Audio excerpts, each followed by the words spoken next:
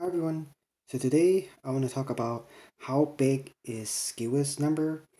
So the reason that um, I haven't made a video about Skewes number is because first of all, um, Numberphile already did a video on this number and I think that was a very good number, uh, very good video about this number.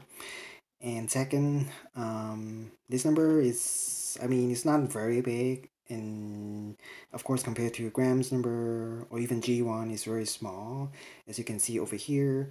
So uh, it's relatively uh, straightforward number to understand. So that's why I didn't make a video of this until now. But of course I mentioned this number in my big number rankings video um, but anyway, let's talk about Skewes number. So Skewes number is actually um, the biggest number ever used in a uh, proper mathematical proof before Graham's number.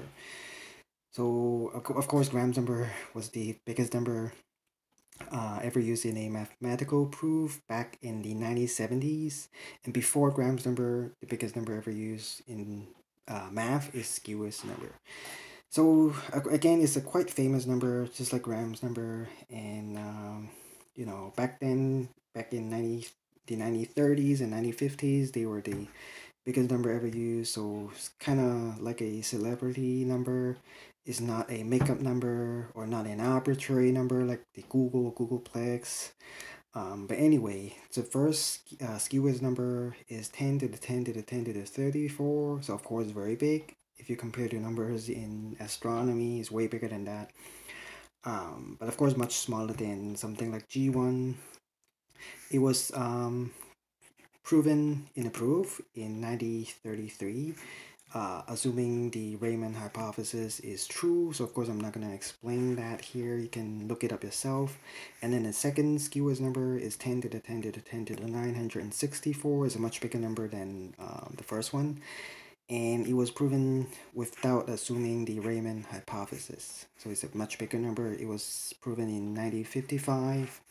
So what is Skewes number? So Skewes number is actually uh, kind of like Graham's number is an upper bound for something, for a uh, problem in mathematics, which uh, is related to uh, counting the number of prime numbers that is bigger than or I mean that is smaller than or equal to a particular number for example let's say a million you're trying to find how many prime number that is uh, smaller than or equal to a million. So within a million how many prime numbers are there? So that's what you're trying to find.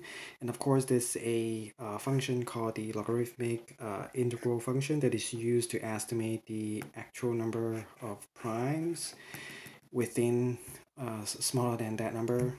So that uh, I mean the this one the prime counting function is the actual number of primes uh, smaller than or equal to, uh, to that number. So it, in this case x is that number. For example you can use a million or a billion. So you're trying to trying to find how many primes that is smaller than uh, or equal to a billion. So a billion would be the x over here and also in here but uh, the logarithmic logarithmic uh, integral function is is used to um, estimate the number of primes.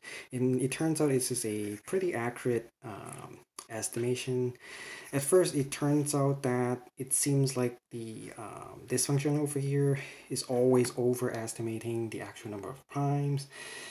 So uh, people is just assuming this might always be uh, overestimating but actually, of course, in 1933, it was proven that that's not the case. That's not true. So eventually, the sign flips. So at some point, um, actually, the logarithmic integral function, the estimate, is actually smaller than the uh, prime counting function. So of course they're trying to find out when does that occur? When does the sign, this equality sign first flips?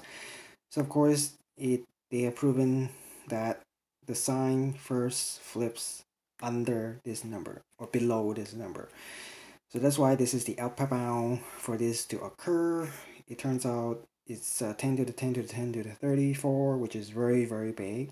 So again, this is kind of like Graham's number. It's just an upper bound of a uh, mathematical problem. It's not a, an actual answer to this uh, problem. Actually, I, I think even until now, they still haven't find the correct uh, answer. They only have some kind of upper bound. Um, so um, I believe currently they of course they improved the upper bound quite a bit since 1933 and 1955 right now i think the uh, upper bound has been reduced to 10 to the power of 316 which is still a big number much bigger than a googol uh, but of course much much much smaller than this num these two numbers over here. Um, and it also it turns out that uh, this this equality signs keeps flipping for infinitely many times. So let's say once they reach this number and the sign flips but actually after a while this sign flips again. So it becomes it's again overestimating and then it's underestimating and then again overestimating and the sign keeps flipping for an infinite number of times. So it's kind of interesting problem and idea. Um, so anyway so how big is uh, number?